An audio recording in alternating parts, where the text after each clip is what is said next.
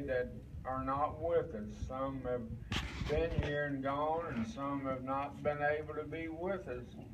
Be with them, Lord. Take care of them as only you can. And be glorified. Thank you for loving us and making a way for us this day. In Jesus' name. Amen. Amen. Olive plants. Round about the table. You know, we we we experience this in a meeting such as this. That we're a part of one another. Our lives are intertwined because of uh, our relationship, our children, our wives, husbands, and children.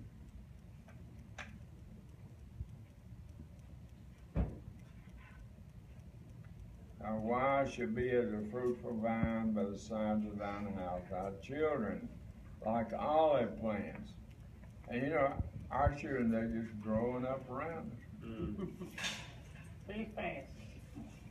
And you know, they're already beginning to uh, show marks of their personality, where they're going or the direction they're going in their life.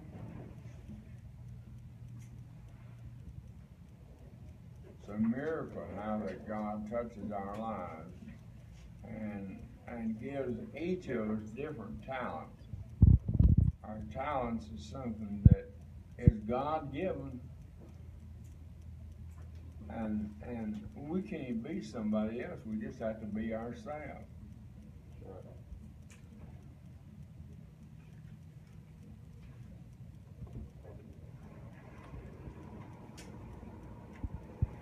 For that thou shalt thus shall the man be blessed that feareth the Lord.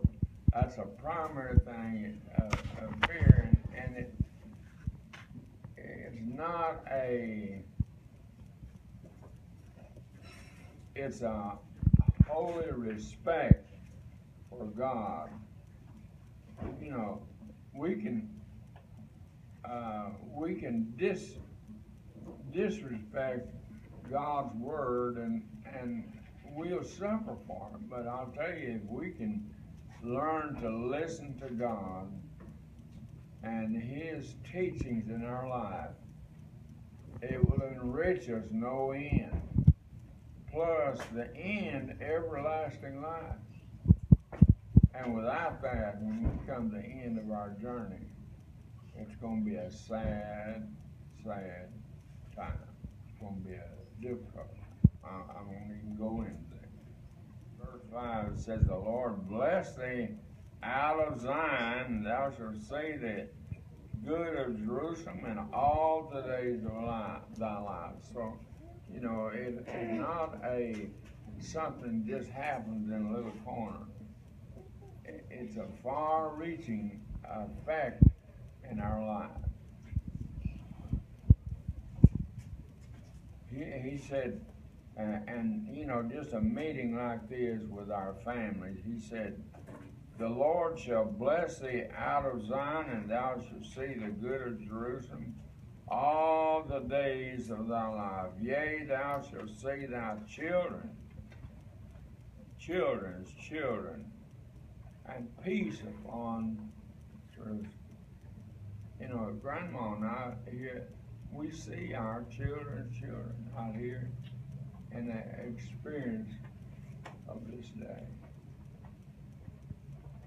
And it, it's a wonderful thing that we look uh, at our life and the life of our family through God's eyes.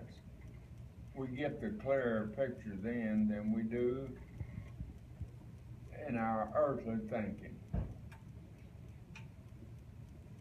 our families are a gift from the Lord. Mm-hmm.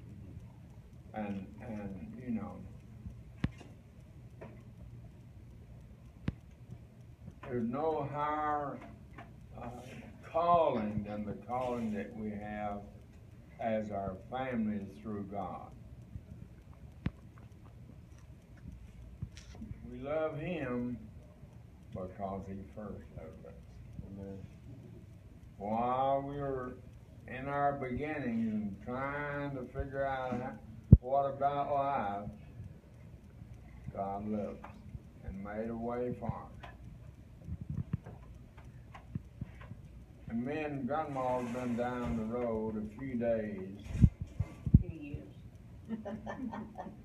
but we've been blessed. Amen. And I give the Lord the praise. Amen. And I want to tell you something, every morning when we have our devotion, we call every one of your names. There's not a one left out. We usually start at Branson Teddy on down to little hours. And we love every one of you, and we just, and I'm just, like I said last night on that, you didn't hear me. But I'm praying for those that will come, be born after we're gone. We won't even know, but I'm praying for them that God will bless and help them to continue on and love the Lord and serve the Lord where we can all be together someday.